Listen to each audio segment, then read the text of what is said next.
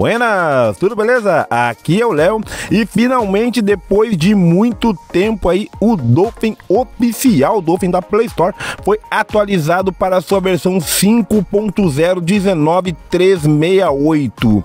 E um detalhe muito interessante que diz lá no relatório de progresso, lá, no, lá no, na Play Store, quem acessa tem ali, eles deixam o link para acessar o relatório de progresso para ver justamente as melhorias que foram aí concebidas em relação ao emulador. Lá menciona algumas informações muito interessantes pelo próprio, pelos próprios desenvolvedores, pela própria equipe de desenvolvimento do emulador. Claro que eles sabiam já dessa questão dos controles e um desenvolvedor já em, de maneira secreta, digamos assim, já vinha trabalhando em como melhorar principalmente a questão do sensor de movimento, para que a gente possa emular via controles. A gente sabe que utilizando alguns hacks aí na versão MMJR 2.0, a gente consegue emular sim o sensor de movimento, mas no Dolphin oficial até então era somente via touch, e isso incomodava os jogadores. Os desenvolvedores já sabiam disso, para tanto que tinham vários e vários pedidos mencionando justamente sobre o controle de movimento. E depois de muito tempo eles atenderam. Tinha um desenvolvedor da equipe que já estava trabalhando nisso, mas eles não queriam revelar antes para justamente não causar nenhum problema. Outra coisa que eles mencionaram também de algo realmente de muita relevância é porque ali no emulador quando foi quando eles foram fazer o porte, eles mencionam lá realmente quem puder ler lá é muito interessante o que eles mencionam no relatório de progresso o, o emulador ele foi portado, digamos, do Windows para o Android. Só que aí eles encontraram um problema, porque o Android é feito em linguagem C, então para os controles de movimento isso não foi um problema. Só que na, na realidade, quando eles portaram para o Android, eles tiveram um grande problema. A gente sabe que o Android, a base dele é em Linux. Mas e como assim, Léo? Também porque justamente a linguagem base de programação é em Java. Então eles encontraram vários problemas aí no meio do caminho para conseguir consertar esse problemão dos controles de movimento. Bem, vamos mostrar aqui agora então rapidamente uma base. Quando a gente seleciona aqui agora, por exemplo, vou escolher o Mario Kart Wii e a gente tenta editar por aqui o controle, a gente não consegue. A gente vai clicar aqui, por exemplo, um input e simplesmente uh, colocar aqui em Wii Remote em emulado a gente coloca aqui e vai tentar clicar aqui nessa engrenagemzinha, ele vai aparecer somente essa opção aqui de profile. Ah, mas como é que eu vou fazer, Léo? Bem, agora praticamente é tudo dentro do jogo, é somente dentro do jogo. Então a gente vai clicar uma vez dentro do jogo. Ao clicar aqui, veja só, a gente vai usar a tecla de atalho.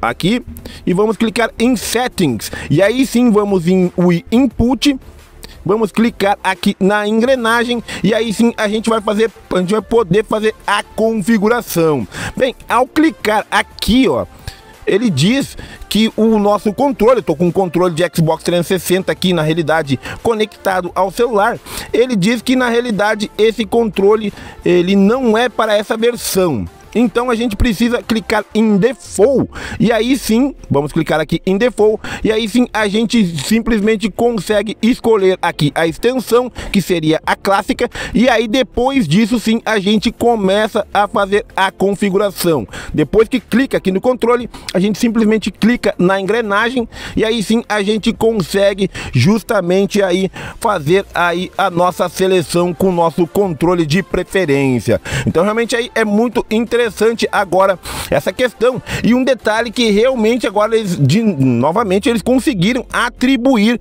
aí o sensor de movimento. Eu testei ele no jogo, no, no Super Mario. Deixa eu voltar aqui só para mostrar para vocês, para mim poder me lembrar qual é o jogo direitinho.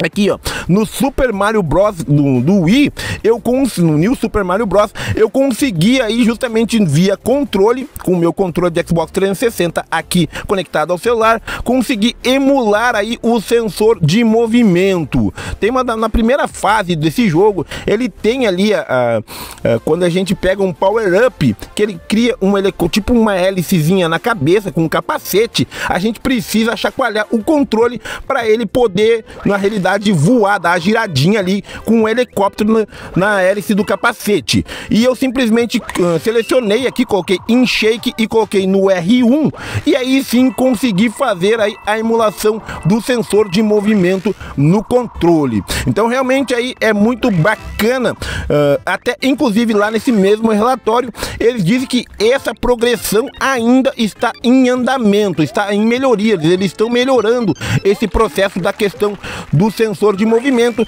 e pediu aí paciência aí para os gamers, os aficionados aí, as pessoas que realmente têm a fã pelo a plataforma Dolphin, que inclui os jogos do Wii e GameCube. Eles pediram um pouco de paciência aí para os gamers, porque eles estão ajustando ponto a ponto para melhorar essa questão da emulação. Bem, moçada, esse foi o atualizou de hoje, então, da versão 5.0.19.368, que também ali não foi nenhuma melhoria em específico, somente em alguns jogos pontuais, mas sim a grande melhoria foi atribuída à questão dos controles nos quais eles novamente aí trazem a questão da emulação dos controles de movimento em dispositivos, tanto controles USB quanto controles Bluetooth.